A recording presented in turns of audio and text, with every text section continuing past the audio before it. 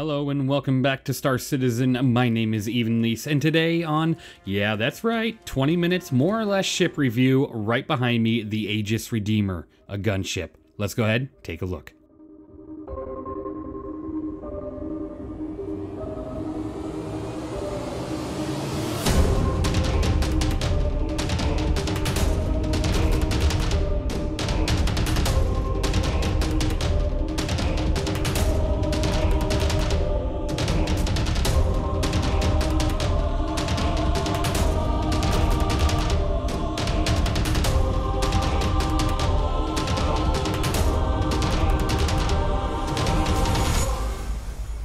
Right, welcome back, everybody, to another review. Today, the Aegis Redeemer. Now, taking a look at this ship, you know, the stats are hit and miss, honestly.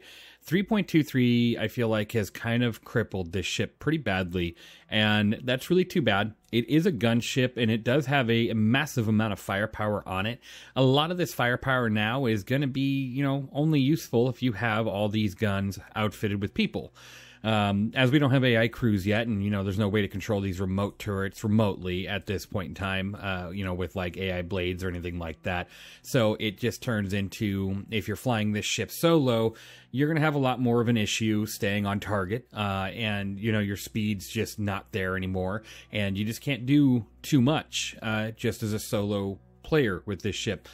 And one of the biggest reasons is because its maneuverability is just awful. I mean, this ship moves just about as bad as an Anvil Carrack, and the Anvil Carrack is three or four times the size, and is also almost, it's not as slow as the Anvil Carrack, but it's almost as slow as the Anvil Carrack. So let's go over this ship and kind of talk about its stats and see where, you know, maybe they could potentially change things in the future. Now, obviously, when it comes down to stats on these ships, these ships are all changing every day. You know, balance passes and everything throughout beta and alpha and final game and all that, and even probably after. Uh, these ships will probably uh, get a lot of number changes here and there. So this is just for 3.23 and potentially 3.24. Obviously, some of the damage outputs on some of these guns might change a little bit on 3.24 and some of the flight characteristics. You know, if there's any big dramatic changes to this ship or other ships uh, with 324 and other updates, I'll definitely take a look at it again and do another review. Getting into this one, this ship is $330 if you were to buy it on the pledge store when it is available. And um, if you were to buy it in game, it is 17,199,000 AUEC. Definitely not a low price for the size ship that this is, but it's priced based off the fact that it's a massive gun ship. And if you look around, it's got a ton of guns on it. Again, only really useful if you have them outfitted with a bunch of people. And uh, so let's get into that. You have a total stock DPS of 542, and that's only taking into account the two size 4 uh, C7A8 ballistic cannons, one on each wing. Now, the pilot does have control of the front remote turret when that turret's not um, occupied. You know, nobody's in the seat. So that's another two size um, 3 M5A laser cannons. So if you add those on, you're sitting about 2,000 DPS roughly stock as the pilot, and that's not terrible at all. That's actually really good. But you know, you got you can't have that seat occupied uh, if you're going to want to control that by the pilot, right? And then also, this ship's maneuverability is just completely trash. Like it moves very slow.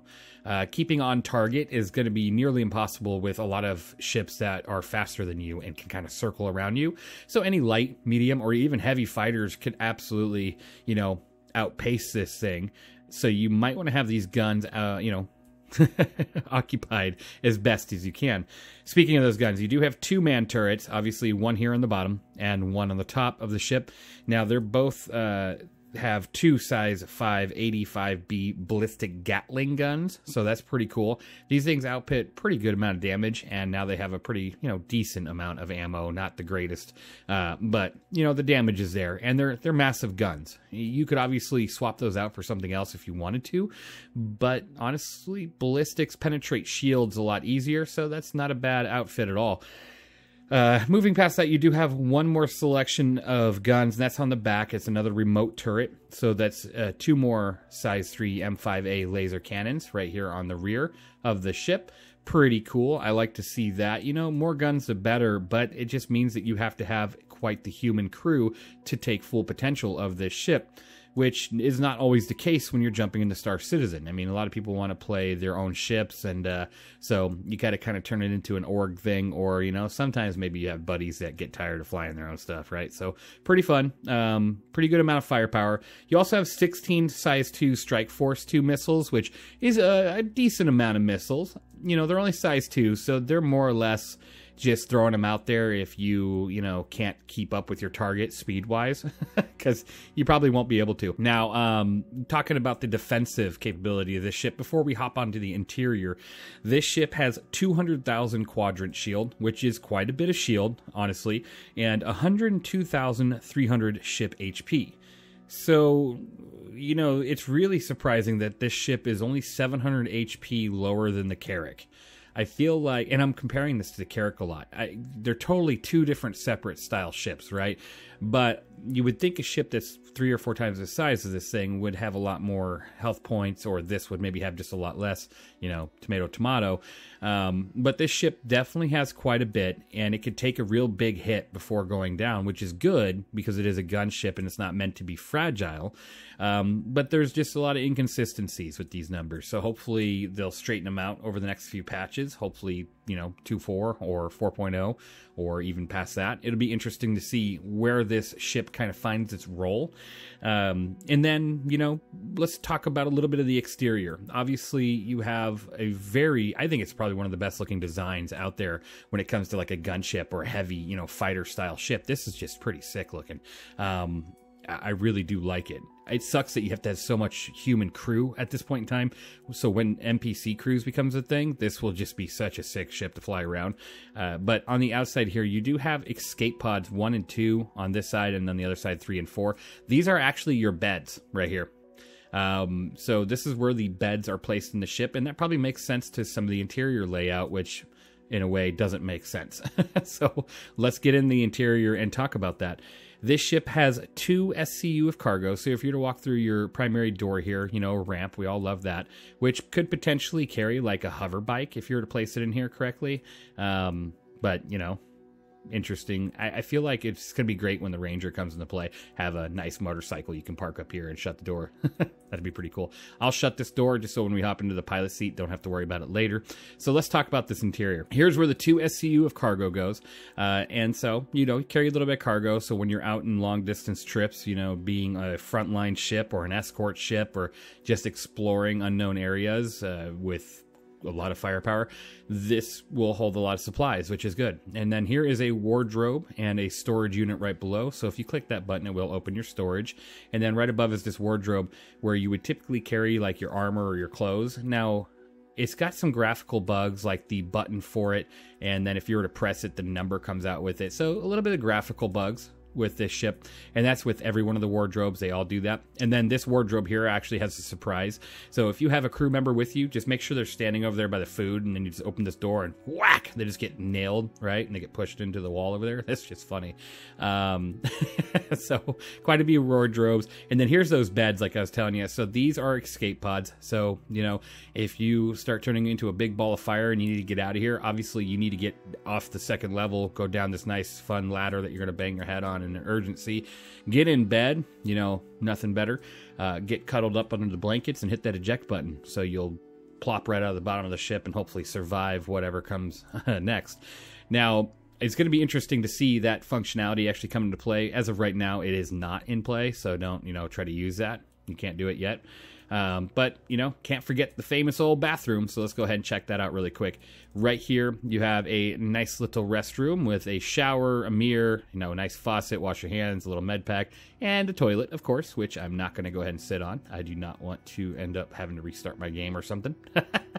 I know that's probably not the case nowadays, but you know, just some trauma, some trauma from uh, previous experiences. A little bit of a kitchenette here um, with all your crap flowing around, and a lot of this stuff is actually you know usable right now. You could drink some of these drinks and stuff, which is kind of nice. Um, but none of this is like mag or anything. Like there's no magnets, so it's not holding any of your crap down. so when you're storing stuff in here, just expect it to be all over the place. you know, little coffee makers, drinks, all sorts of fun stuff. So nice little kitchen area.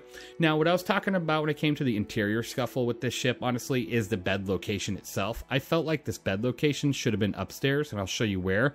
But now that you kind of see where the escape pods kind of come out of, it makes a little bit of sense. Maybe they could make the escape pods pop out of the top of the ship too. I mean, either way. So let's head upstairs. Right here, you have four jump seats. This is where I kind of feel like the beds would have had a better place because these jump seats, I know they're called jump seats, but they don't really make sense for the crew because you do have a four crew. This is a four crew ship, right? So you have, you know, four, uh, one pilot, three gunners. Um, which is kind of surprising because you know two man turrets, two remote turrets. But I guess you just leave that one remote turret ungunned up the top, or you're just swapping beds. So you know four man crew or a five man crew with four beds, whatever. Now, um, the the whole point though is if you are in a gunner seat um, or you know a turret or whatnot, you don't need to be in a jump seat. You're already you know seat belted into your seat here and you're good to go you know stay in a defensive posture allowing you to protect yourself. Don't have to run from here to get into a jump seat to actually jump. That just wouldn't make too much sense to me. So those jump seat locations and and this is my opinion of course um, it feels more like you you have a special forces team. You bring them in here, you put them in these seats, you jump out, and you have a nice, you know, invasion on a bunker or something, with your ship being fully occupied and for special forces members here or something like that in these seats or even you're just running you know weird civilian transport these seats would be good for that use. I you know wouldn't mind seeing them on the bottom level where the beds currently are and having the beds up here. That'd be kind of nice because then you can just get in bed and you know get up and go to work when you need to.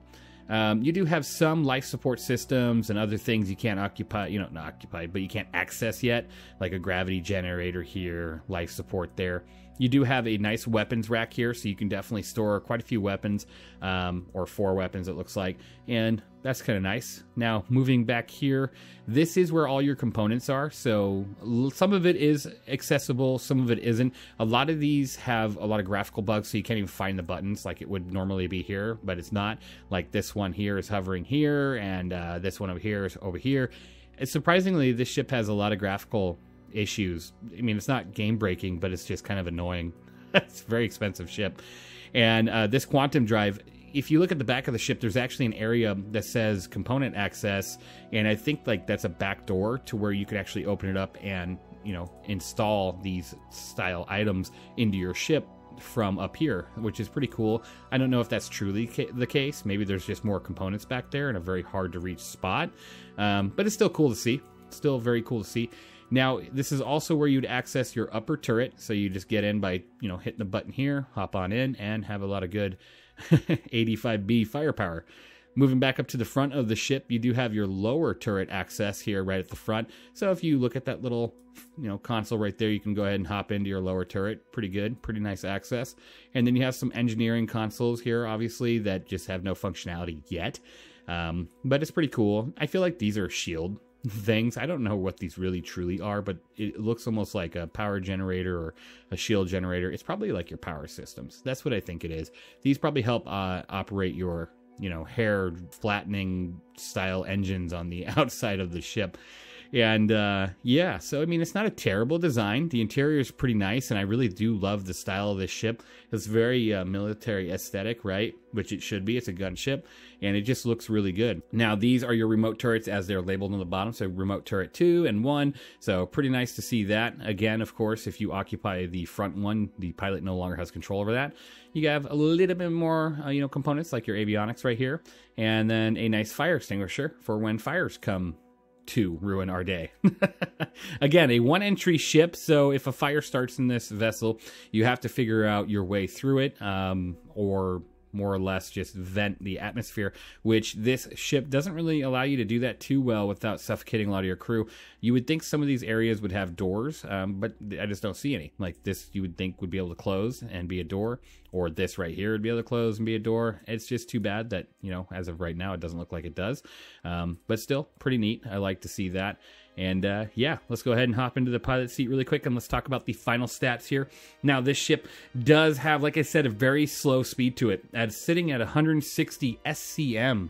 Um, it's a very, very low speed. So that is something to think about when you're flying this ship. 160 SCM, 320 forward boost, and a 170 backwards boost. So she's very slow. The Carrack is 20 SCM slower again, these stats are all going to change. These are not a permanent stat, right? Um, so my comparison right now is just you know in the fact of 3.23, and this ship got hit pretty hard with that.